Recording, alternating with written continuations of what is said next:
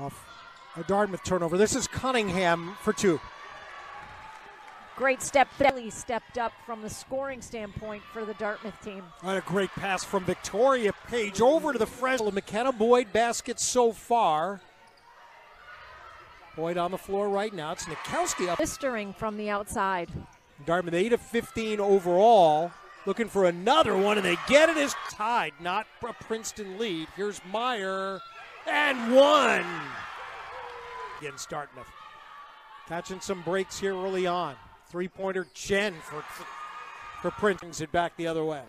Cunningham to pull up 14 footer for two. We're seeing in this half the tempo really increase.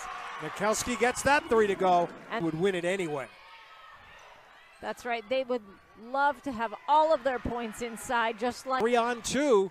Boyd right down the middle, and it goes. It went in. The three on two. The kick over for a three point try, and it's good for Cunningham.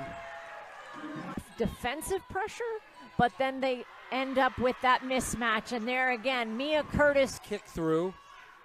They rotate it around. They wind up with a three, and Madison St. Rose knocks it down. Well, we've talked about this Princeton team and how important defense is, and I think just drilling it in against this Princeton team that had very balanced scoring, had two, a little too.